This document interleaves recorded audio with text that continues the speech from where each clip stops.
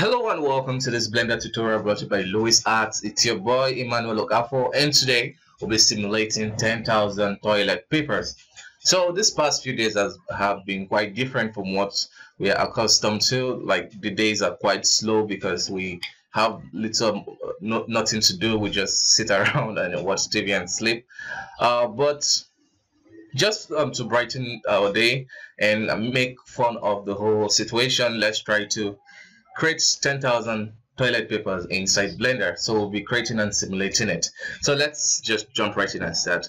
We want to go ahead and add a cylinder. So we'll add a cylinder. And before we click on anything, we want to go to the edit and adjust last operation.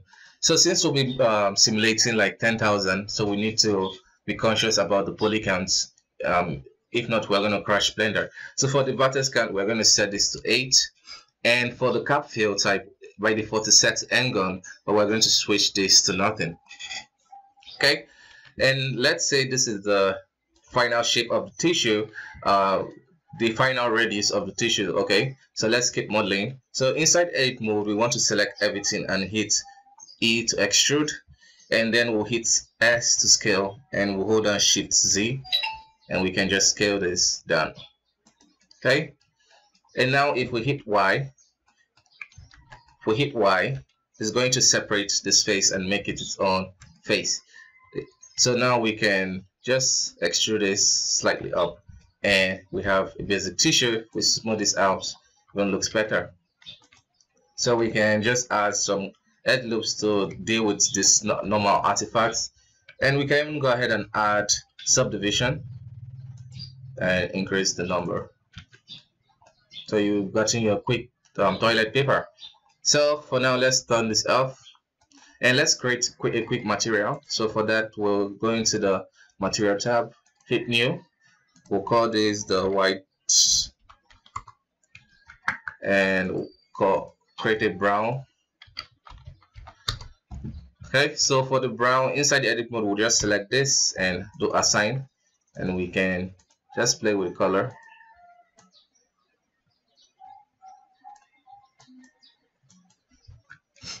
So since there'll be like a lot you um going very close you you don't want to you don't have to worry about like it being really detailed or having detailed shader because it's going to be like there'll be lots of um, geometry so it won't really matter. So uh, then for this i'm just going to reduce the roughness.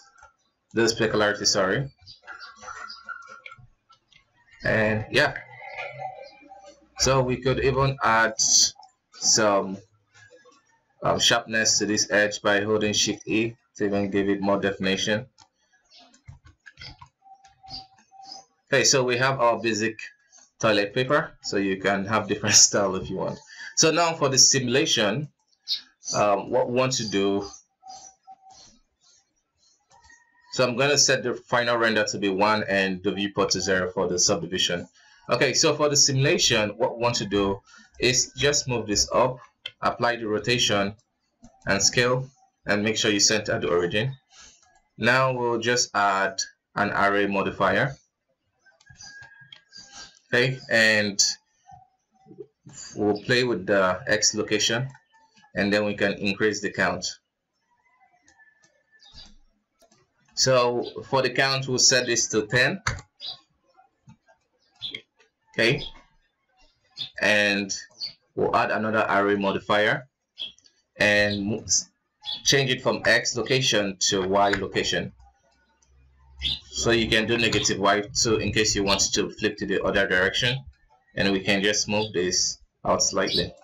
So for this, we'll also set it to 10. So we have 100 here and we can add another array. And this time we'll set this to 0 and the z location to 1 or we just we can increase that slightly. And for the count we'll set this to 10 so we have about um, 10,000 now. Okay uh, now we have gotten the basic um, we have created a lot of instance of the tissue and we can go ahead and apply this. So you want to apply it from top to bottom. And once you're done applying it you can go into the edit mode. And because we have like low polygon count is going to be really um, nice for our processor. Um, now we can hit P and we'll separate by loose parts so before we do any other thing we want to hit M and create a new collection and we call this tissues so we can keep the scene organized. And now we can select everything and hit the W key for context menu and we'll do origin to geometry. Okay and even to, so now to simulate this we can select this all of all this objects move it upwards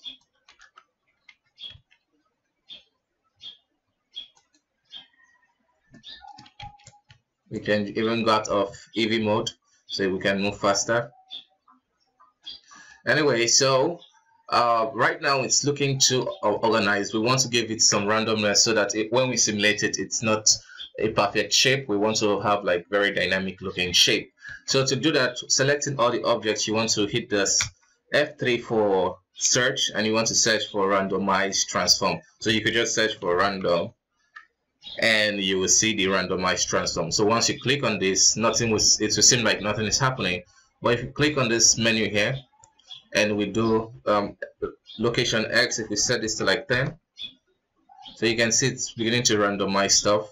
So let's just set it to something like 2 or maybe 0.5 just to break things down a bit. And for this we can rotate this randomly by 5 okay? So now we have um, randomized stuff a bit. Okay? And we can go ahead and select the object menu and go down and scroll you can see add active. So it's going to add a rigid body. So before we play it let's add a plane that will serve as our passive or as our floor. And we can go to the physics tab and click on this plane and we'll do rigid body passive. Uh, we can leave everything as default and if we hit play we can see what we get.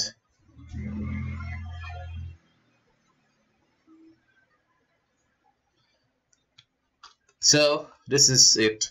We've gotten the simulation.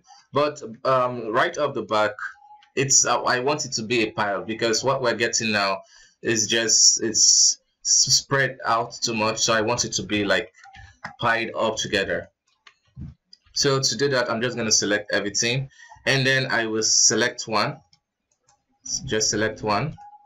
Any random one. And holding down alt we can change the values for all the selected at once. So what I want to do is go down to uh, surface response. And for the friction I'm just going to increase it to a very high number this is going to make it um, not be so this is going to help it reduce the motion. So if we play it again we can see we're getting more of a pile um, kind of simulation. And we can even increase this too just for the sake of it. So now uh, let's say we're happy with this and we want to proceed. We can easily go to the world settings and you can see we have your rigid body check. Once you add the rigid body this is created for you. So we go to the cache and let's bring up our timeline.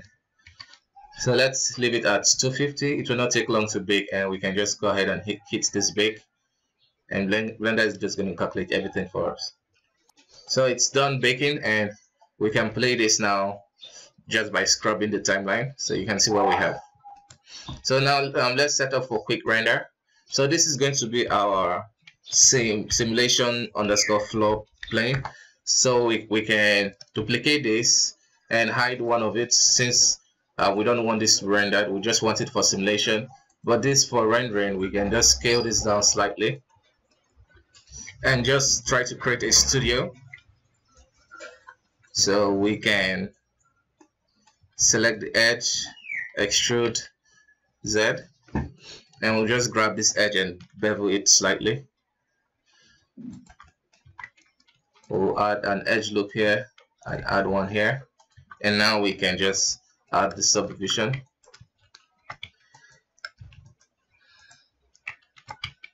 Okay so we smooth it out. We have a basic studio setup and we can add our camera. So let's try to get a nice angle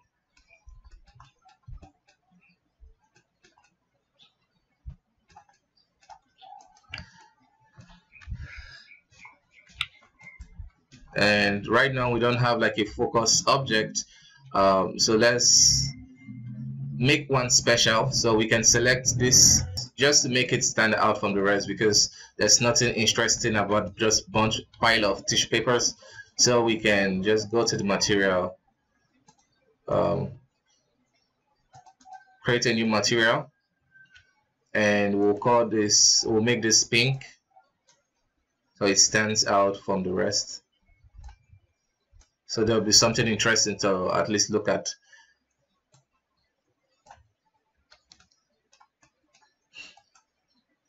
You can do it for a couple of um, tissues.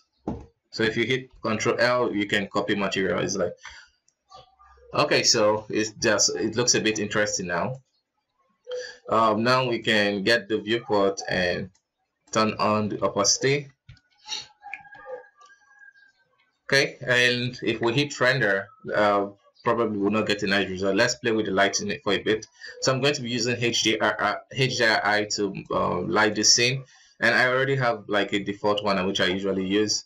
So if we hit material preview and check scene light, we can just, I'm using a nice add-on that allows you to just move your mouse to spin the HDRI.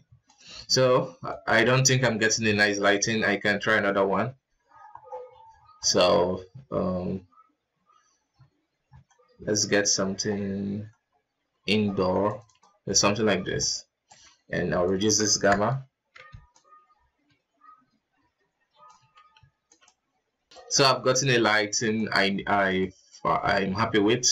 And I can select the studio plane and just give it a nice blue color. So it stands out from every other thing and I'll reduce the specularity. Okay uh, now we can start rendering. So uh, if we hit hit F, F12 um, let's see what we get. Okay so this is it. It just took 17 seconds. Um, let me show you my render settings. I have the render sample set to 70 though I'm using a denoise I'm using the denoiser um, the strength is set to, set to 2.25 the glossy I'm not using direct I'm just only affecting the indirect. Okay uh, now okay just to even make it more interesting.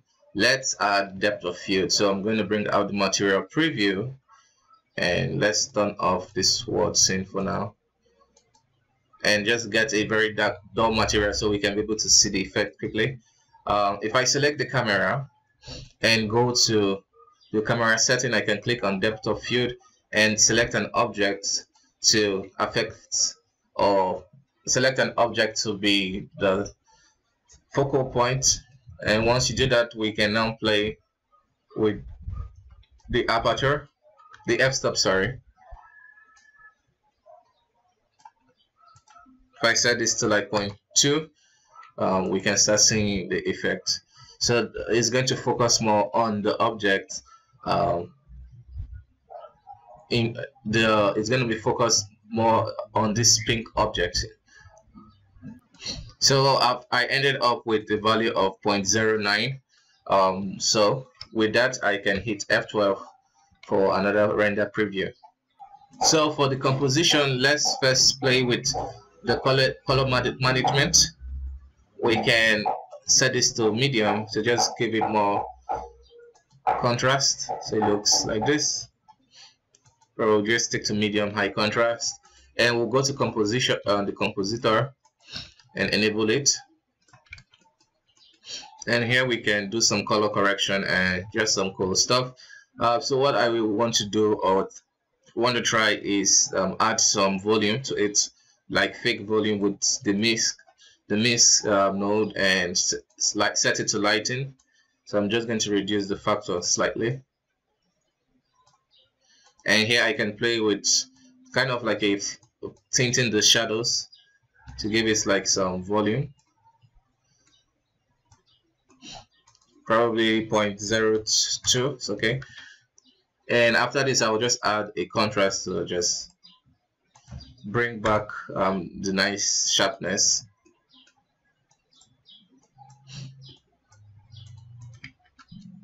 okay? And finally um, just some basic color correction. I'm going to set this to offset power and just play with something that tells the story the story better or looks visually appealing. Okay so this is not bad. And we can just conclude everything with a filter and set it to sharp just to make things more obvious I'm going to reduce the factor to like 0.2 and that will be that. So I'm going to go back now and let's prep for final render. So for final render I'm going to set this to um, 1080 um, resolution of 150 and for the render I'm going to set it to 200 which my um, denoiser turned on so let's hit render okay so it's done rendering and I'm quite happy with how it looks. So I'm going to go ahead and render out a simple animation and let's see how it turns out. So thank you for watching this tutorial. I hope it was helpful. If you wish to see more from me don't forget to hit that subscribe button. Um, stay tuned. I'm going to play the animation after this